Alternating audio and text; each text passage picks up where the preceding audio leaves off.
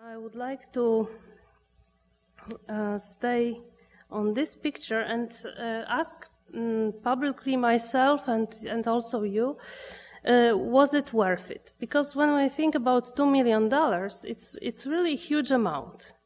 And of course, we can think of many other needs in education, in healthcare, in, in helping uh, disadvantaged people, in many other ways. But was it worth to put so much money in this uh, synagogue in Poland?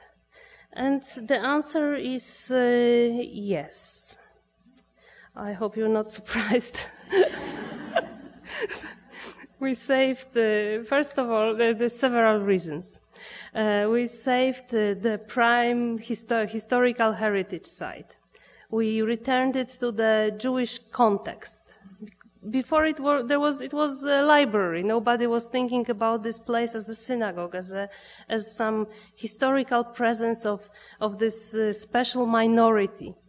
Um, we have uh, also created a tool in encouraging uh, Jewish and non, non-Jewish tourism, and which is important from, to promote uh, um, the, the, this Jewish material culture as part of national heritage.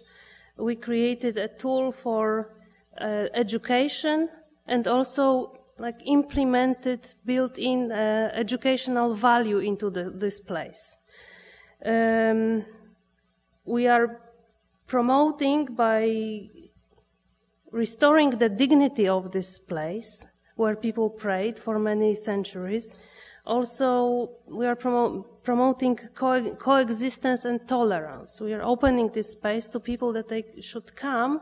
Everybody is welcomed to see what was this uh, um, input that the Jewish people had in Poland as a part of minority, and uh, but uh, which contributed tremendously uh, in Polish culture throughout the years. And uh, we also build a platform of communication and cooperation for broader culture.